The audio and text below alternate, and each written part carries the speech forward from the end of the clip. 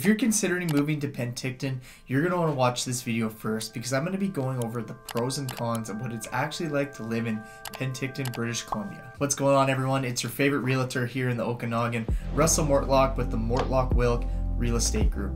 And if you're looking to buy or sell real estate in Penticton, you're going to want to give me a call at 778 392 723. Or you can go in the description below. There's going to be a link directly to my calendar, and then you can book a call with me at a time that's going to work best for you. And we can see exactly what it would look like in order for you to purchase real estate here in Penticton. Let's dive into it. What are the actual pros and cons of living here in Penticton? I'm going to give it to you straight on exactly what it's like so you know and can make an educated decision if Penticton will be the right place for you to call. Let's start off with con number one. It is a bunch of retired people. All jokes aside, the median age of Penticton is 52 years old, where the largest amount of the population is between 60 and 64 years old. So one of the cons of actual being in Penticton, in particular if you were a younger person, is that the demographic is mostly retirees and people over the age of 52 with the medium age there. Con number two of living in Penticton, and this is gonna go for almost everywhere in the Okanagan, and something that you're just gonna have to accept, and that is the forest fires. Uh, so just like we had that big forest fire season in 2021 where a lot of people weren't able to go outside for periods of time in the summer. Uh, it's just something that you're gonna have to accept and be aware of, but it is one of the biggest downfalls, especially when you want to get out on the boat or enjoy the lake.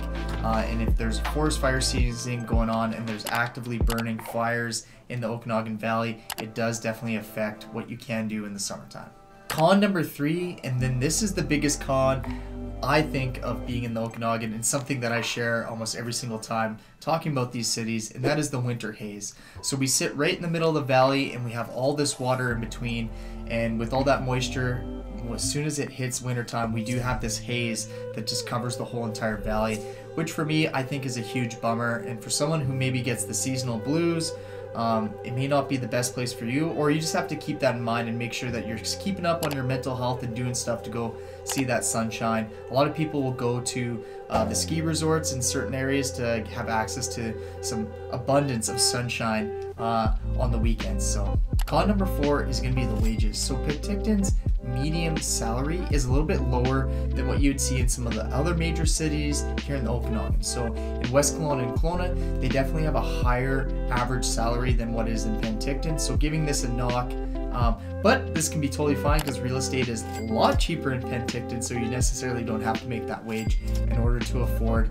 buying a home. And at any point after watching this video and going through all the pros and cons, you still think Penticton's gonna be the best place for you and where you want to buy real estate, give me a call at 778 392 723. I'll be able to help you out and make sure that you guys actually find the right home uh, and take you every step of the way, making it an easy, smooth transition to call the Okanagan home. So now let's dive into the pros. Enough of the negative stuff. Let's hear all the good things about living in Penticton because I'm a firm believer and the reason why I relocated from Alberta out to this area is for all the pros that has on it. So it definitely outweighs the cons. Let's hear them. Pro number one is going to be the size. So it's 36,000 people on average.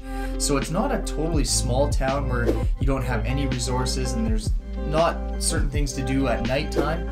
Um, but it's not a massive city uh, like some of the other ones here where you're gonna have a lot of hustle and bustle. It is really quiet and just like I shared with my number one con that this is why it's attracted a lot of retirees uh, but I would say the population why most of the people choose to live in Penticton is because it does have a smaller population but it's not as small as say a city like Peachland, Lake Country or Summerland where you still get a lot of better shopping in Penticton. Pro number two is going to be its location. It is located on the southern interior of British Columbia and right in between Skaha Lake and Lake Okanagan. So putting it perfectly located for the people that want to enjoy both lakes. And then you got Skaha Lake, which is a lot quieter than say Lake Okanagan. Pro number three, and this is another one of the main attractions why people come to Okanagan, is the weather. So for the winter, we get very limited snow here in the Okanagan and especially in Penticton. Not saying that it doesn't snow, but we do see around an average temperature of minus 4. And then the whole reason why everyone comes here is in the summertime you have an average temperature of around 28, which is just beautiful, especially when you get to jump in all those lakes and enjoy the weather, making this one of the biggest pros. And why seamlessly almost a lot of people end up relocating here uh, is because of the weather and it's super cool because before a lot of people used to be snowbirds and they would go down south and they have to travel where now I see so many people instead of doing that, they actually just have one main location. They live there all year round, and you can stay here in Penticton. It does have a mild climate where it doesn't fluctuate too drastically, and the winter isn't too bad. Now, leading us in from the weather to the fourth pro, this is going to be the beaches. So, Penticton is situated in between Lake Okanagan and Skaha Lake, with Skaha being not as busy as Lake Okanagan, so you can definitely enjoy that lake lifestyle where a lot of people who live in Kelowna um, definitely talk about how busy Lake Okanagan is and how fast paced it is. It's tough to get your boat in and out of the water. Where in Penticton, you don't have as much traffic, you don't have as much tourism too. Um, so getting to enjoy these parts of the lake and kind of the slower area is really nice. And I, I do hear people, one of them who are big boaters, they end up going out to Penticton just because it's way easier to get a boat slip. It's way easier to get your boat in and out of the water. And boating is the main reason why they come to the Okanagan. Now let's move on to pro number five, and this is going to be the no speculation tax. So this is going to apply for all the people that want secondary homes or vacation homes that aren't occupied for a certain period of time throughout the year. I'm very pro on Penticton for this reason because you're not going to be be shelling out some extra money just to have your secondary home out here if it is sitting vacant, like if it was in Kelowna, in some areas in West Kelowna, then you do have to pay the speculation tax if it's not occupied for a certain period of time throughout that year. I send almost all my clients who are really open to anywhere in the Okanagan to look at these areas that do not have speculation tax if it is for a secondary. So if you're someone that's looking to buy a secondary home and that vacation home, there's a lot of really awesome lakefront property or lakeview property at good prices here in Penticton. So give me a call at 778-392-723. I'll be able to help you out, make sure we find the perfect place for your family to vacation to. Pro number six, and this is probably the biggest reason why most people choose Penticton over other areas in the Okanagan, is its real estate prices. It is one of the more affordable areas to live in all the Okanagan. The single family home price is around the $698,000. This is a massive difference between, say, Kelowna, um, just being able to get into the single family market.